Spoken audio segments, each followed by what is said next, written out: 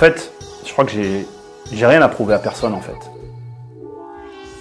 La vérité, c'est que je suis pas discret sur mes chiffres ou sur ce que j'ai pu faire parce que je veux pas donner les montants de mes transactions ou je cherche à cacher euh, une réalité quelle qu'elle soit. La vérité, c'est qu'en fait, comme je le dis souvent, beaucoup de personnes donnent de la valeur à des choses qui n'en ont pas et ne sont pas capables de voir la valeur sur les choses qui en ont réellement. Le problème aujourd'hui, c'est que le problème, c'est que on pense, euh, on pense à tort que parce qu'une personne gagne beaucoup d'argent, elle va être capable de t'apporter les réponses à tes questions ou de solutionner tes problèmes. Mais je crois qu'en réalité, on a tous vécu la même chose. Je crois qu'on a tous, à un moment donné ou à un autre, eu un prof qu'on ne pouvait pas blairer et qui nous empêchait d'avoir des bons résultats. Et de la même manière, on a tous eu un prof qu'on adorait et qui nous faisait nous dépasser dans une matière qu'on n'aimait pas particulièrement. J'ai pas envie d'être une personne qui est jugée sur ses résultats, même si mes résultats sont importants.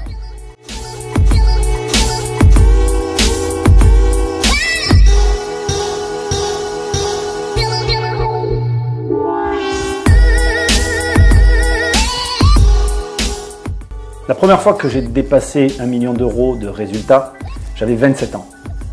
Et j'ai fait l'erreur, je crois, que tous les jeunes font à ce moment-là.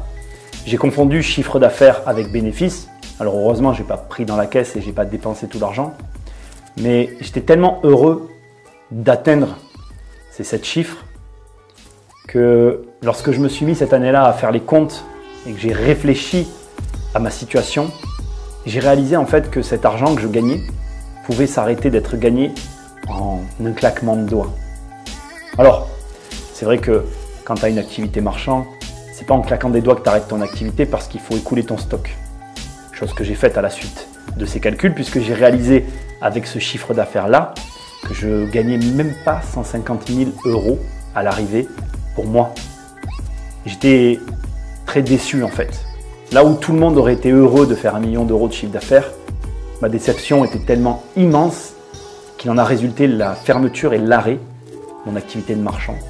Parce que je me suis dit que je ne voulais pas être quelqu'un qui faisait des millions, mais je voulais avoir des millions. Et c'était ça qui était important pour moi à l'époque, c'était de me dire, je ne veux pas voir passer ces millions, je les veux en fait à moi, en pleine possession. Puis les années ont passé et j'ai obtenu mon premier million d'euros en pleine possession, environ pour mes 32 ans. Je dois avouer que quand on l'atteint, on est très heureux en fait. On se dit waouh, ça y est, c'est bon, je suis millionnaire. Mais la vérité, c'est que avec un million d'euros, ta vie, elle n'a pas un immense changement. Un million d'euros, finalement, aujourd'hui, en achetant quelques biens immobiliers, ça peut être très vite atteint. Ce million, finalement, n'a pas été le vrai changement de ma vie. Les millions qu'on suivi, ceux-là ont changé ma vie et ont fait de moi une autre personne, une personne que je suis aujourd'hui. Mais fondamentalement, j'ai pas changé en fait.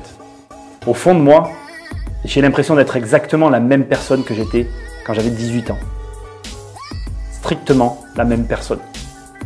La seule chose que je peux dire aujourd'hui, c'est que j'avais un objectif et que je ne l'ai encore pas atteint, même si je suis à quelques centimètres de la ligne d'arrivée. La ligne n'est pas passée et je voulais passer cette ligne pour mes 35 ans et, et j'ai échoué à ce niveau-là. Même si je vais passer la ligne pour les 36 ou 37 ans. J'aurai atteint mon objectif avec deux ans de retard, mais je reste quand même sur ma fin parce que pour moi, réussir, c'est réussir dans les conditions qu'on s'était fixées au départ. Aujourd'hui, je n'ai pas de grands conseils à donner par rapport à l'expérience que j'ai pu vivre, qui a été celle qu'elle a été jusque-là. Par contre, j'ai quelques recommandations à faire, dont une que tout le monde connaît et qui pourtant je crois, est celle qu'on a le plus de mal à respecter vis-à-vis de nous-mêmes et vis-à-vis des autres. Dans ces quelques mots qu'on vient d'échanger, je t'ai dit une chose essentielle que tu dois retenir. Je suis fondamentalement la même personne que celle que j'étais à 18 ans. Ce qui veut dire que j'ai toujours été fidèle à moi-même, à ce que j'étais, fidèle à mes rêves, fidèle à mes idées. Et je ne me suis jamais rien empêché, quoi que j'ai voulu faire dans ma vie. À vaincre sans péril, on triomphe sans gloire. Ne cherche pas à réussir en grillant les étapes. Ne cherche pas à réussir en modifiant l'idée de départ ou en acceptant ce que les autres te disent. Sois celui que tu veux être. Sois celui que tu as envie d'être. Vis ton rêve comme tu veux le vivre et ignore tout ce qu'il peut y avoir autour de toi. Impossible n'a de sens que dans la bouche de celui qui le prononce. C'est une réalité qui est dure à entendre, ça demande du courage, mais si tu arrives au bout, tu vas vivre les mêmes expériences que moi. Tu as un rêve, tu penses qu'il est irréalisable Eh bien moi je te dis que oui, il est réalisable. Même s'il est fou, il est réalisable. Rien ne doit t'empêcher de réaliser tes rêves. N'écoute que ton cœur et ne suis que ton esprit. Et n'oublie jamais cette phrase, à vaincre sans mérite, on triomphe sans gloire.